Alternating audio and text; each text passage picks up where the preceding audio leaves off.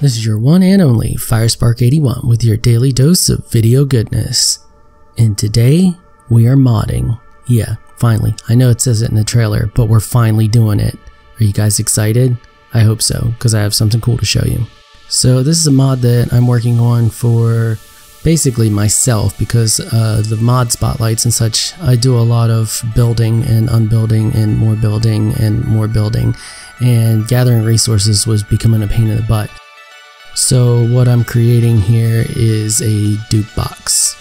It's just makes resources using resources. So you put in one stone, it gives you a hundred stone. It can use those hundred stone to make even more stone, and so on and so on. So if you look here, we have the stone already done. Now we're gonna add thatch. So we're gonna go over here and search thatch and maybe actually click the game this time. So you want your main folder and we're going to look for primal item resource thatch. And hunt, and hunt, and hunt, and it's in here somewhere.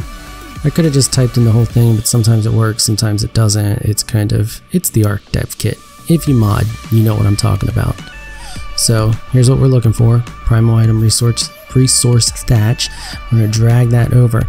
Now we're going to make a child of this the reason we do that is because we want the game to still see it as thatch no matter what we do to it here.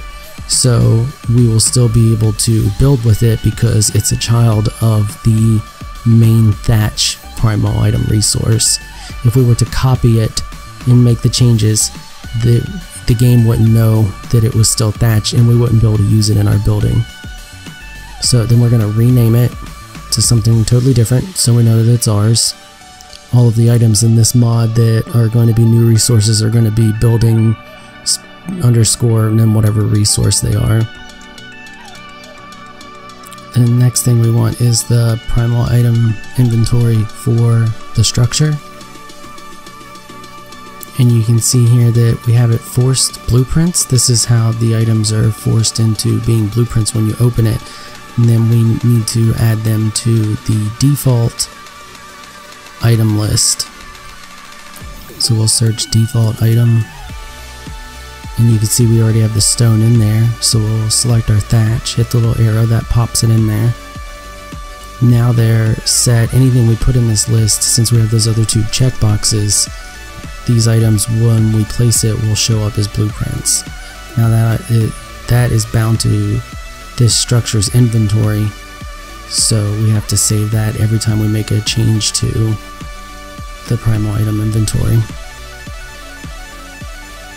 So now we're going to open the build stone or building stone and we're going to size our windows side by side because I don't remember all the settings I did for this to get this to work. So what we'll do is we'll put them side by side and then go down the list here and just check off each of the ones that we need to make sure that they're the exact same or that the thatch is the exact same as the building. So we need the can be a blueprint. We'll scroll down. Scroll down the other one. You can see here we need these two. We allow use an inventory, allow remote inventory. Scroll down a little bit more.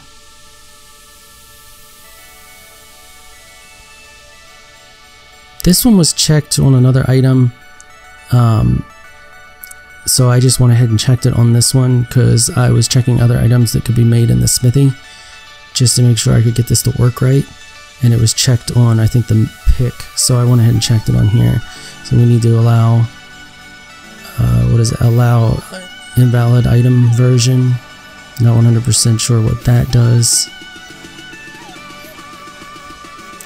Scroll down some more and we just basically, I know it's a slow tedious process but we're going to make sure it's the exact same because the stone works beautifully.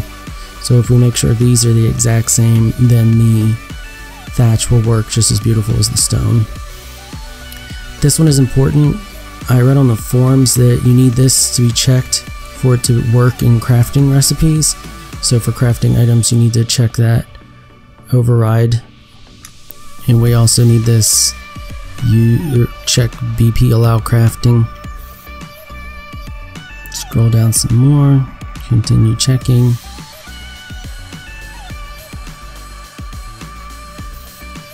There's the weight. I, if I remember right, I changed the weight of this stone. It's not the same as the normal stone. But this one's weight's low already anyway, so we're gonna leave that the same.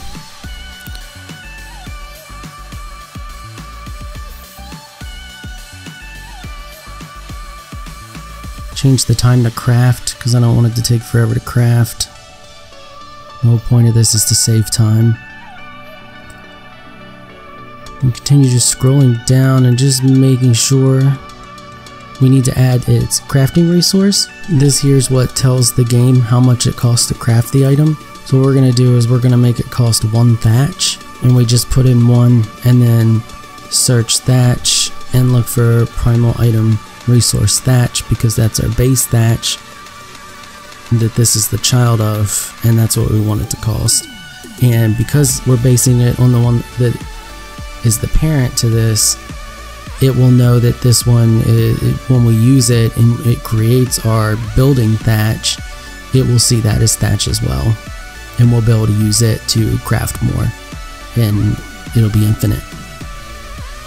So now we're going to compile and save that way we don't lose anything if any crashing happens which can happen and the last thing we need to do is this crafting requires the inventory component this tells it that it can only be crafted, or that it has to be crafted in a specific inventory, and we wanted our primal item BP build box inventory. So we'll just highlight it, click the check, or click the little arrow and pop it in there. Now we'll test.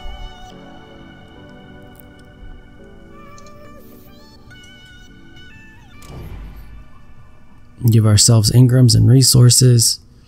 We'll build it.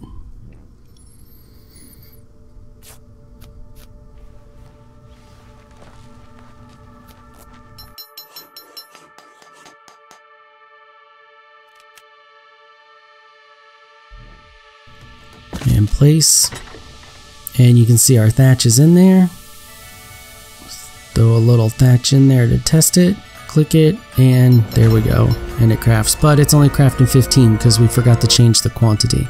So we'll go back to the thatch. Then we'll type in quantity or QUA and right here it is item quantity. And that's the amount you get whenever you craft something. And we'll compile and save. And while we're at it, let's go ahead and change the max item quantity. This is how big of a stack it is. So we'll allow this item to stack to a thousand. And then we're gonna go ahead and do that to the stone as well, because why not? I mean, it doesn't matter. So we'll allow the stone, we'll add a zero to that, compile it, save it.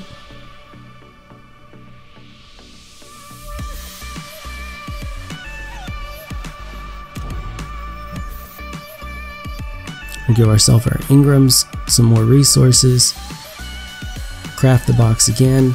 And I could add this so that it gives it to me, it gives me the box every time, but I like to continue craft it just to make sure everything's working every time. So every time you want to test, you want to test each step to make sure you didn't do anything to break it. So then we'll craft the thatch, craft the stone, and there we go.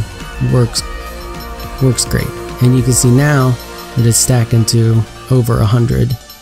So our stacking is working properly as well. And we can continue to craft. Let's throw out our stone, double check just to make sure. And you can see now we have no stone. This is the stone. The only stone we have is the stone we just crafted. And it's allowing us to craft structures. So everything should be working just as it's intended to be. Well, that's going to call it for this episode. It was just a quick little modding tutorial. I'll have more in the future. There's a couple other mods that I eventually want to work on as soon as I get the time, and I will do videos for those as well. If you liked this video, leave a comment down below. Let me know what you thought. If you're shy, you don't want to leave a comment, just smash the heck out of that thumbs up button. Until next time, thanks for watching.